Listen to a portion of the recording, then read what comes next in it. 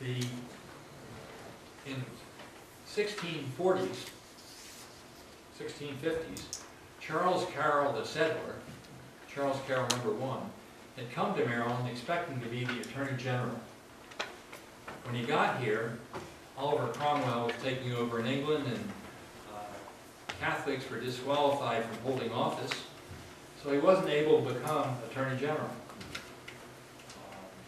Lords Baltimore were also Catholics, so they're favorably disposed towards him.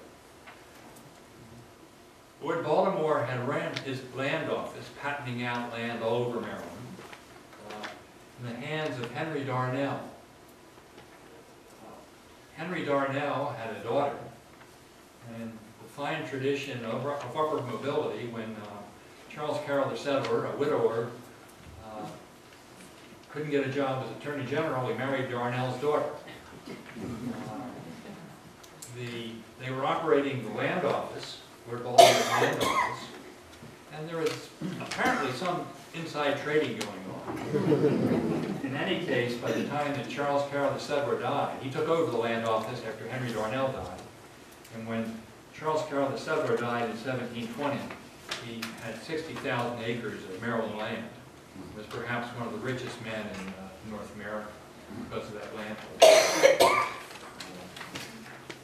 He's the grandfather of Charles Carroll Carrollton, uh, who comes along a generation or so later. The son of Charles Carroll is Charles Carroll of Annapolis. He was a lawyer. He could engage in equity practice, even though he was still barred for the most part from engaging in otherwise in law practice because he was Catholic. Uh, And he had major land holdings that he inherited from his father. Uh, And he owned the parcel of land. He had bought uh, Todd's Range in 1702 from, uh, from Todd, uh, which is where Baltimore started out. Uh, And he convinced the General Assembly to authorize the erection of a town on his, his parcel on the harbor. It's thought to be a, a good and better basin in Joppa for, for trading. Uh,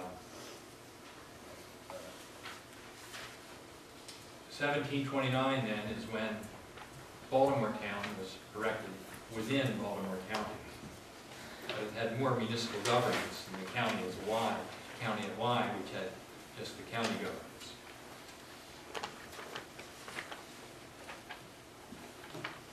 In 1768, county seat, seat of the courthouse and the jail, were moved from Joppatown to Baltimore Town. Uh, The move was primarily an economic one. Joppatown was dying. Uh, They cut down all those trees, and the harbor was silting in, newer vessels could no longer uh, berth in Joppatown. Uh, Baltimore Town was thriving. Baltimore Town leaders convinced the assembly to move the county seat from, uh, from Joppa to Baltimore. Uh, The county court moved from Joppa Town to Baltimore. A new courthouse was erected, it's depicted in the slide. A new jail was erected. Uh, And the business of Baltimore County, county seat of Baltimore County, would now be in Baltimore. There were some downsides to Baltimore. Uh, The primarily, the primary one was malaria because of the marsh around, the around the harbor. The marsh, the malarial, the malarial marsh is what we now call Harbor East. It was a problem. Uh, It was alleged that the courthouse and prison in Joppa were in disrepair, and the port was on the wane, and the move was made. Another major reason was that tobacco was no longer as economically important as an agricultural product as wheat, and Baltimore had much better access to the, to the wheat fields of the west. Uh, And had, had a number of mills. The Ellicott brothers had mills and also mills along the Jones Falls that made Baltimore a, an economically vibrant and growing place.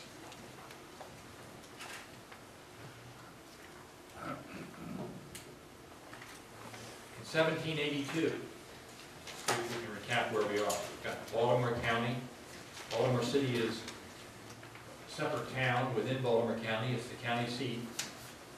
Uh, But they're still together. Uh, Baltimore Town fathers convinced the Maryland Assembly to levy and collect property taxes independently from Baltimore County. They were cutting fiscal strings, they were getting their independence back.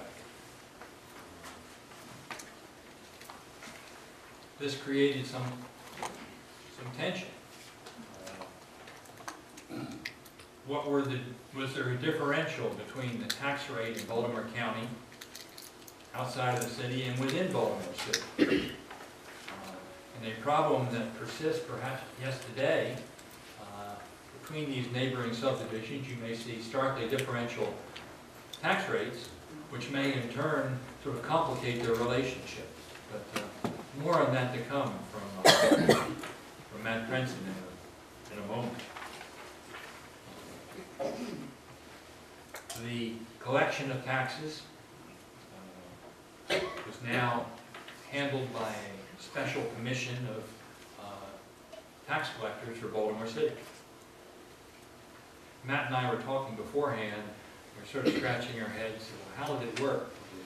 Baltimore City people pay both the county tax and the, uh, and the city tax, or one or the other? And uh, That question may yet be, not yet be answered by the experts in-house, but I'm sure there's an answer somewhere. Uh, Still moving forward. Seventeen ninety-six.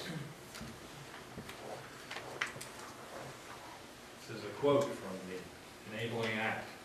Baltimore Town, in Baltimore City, shall be hereby erected into a body politic and corporate by the name of the mayor, city council of Baltimore. We still use that mayor, that name, that's everywhere.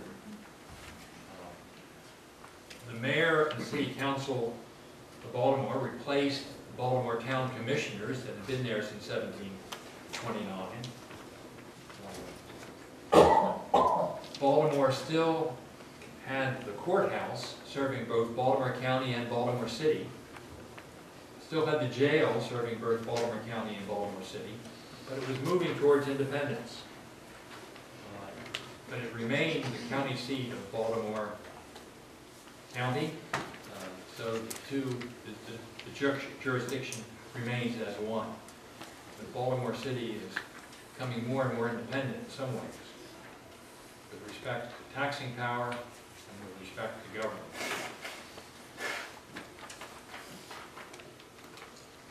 In eighteen sixteen, uh, the growing Baltimore City, uh, county seat of Baltimore County,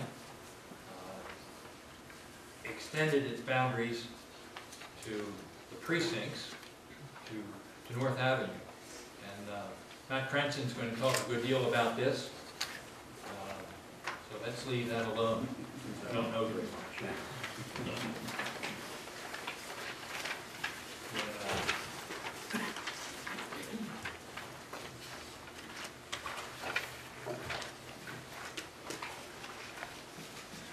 In eighteen twenty-seven, big event occurred. Uh, The governance of Baltimore County, which had been in the hands of the county court, was transferred to three county commissioners.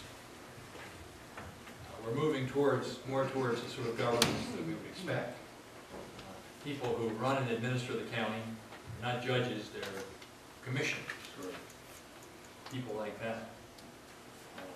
And they took over then, managing the revenues received by the Baltimore County taxes, uh, except within Baltimore City, where Baltimore City had its separate tax collection mechanism and its sep- separate uh, repository of funds.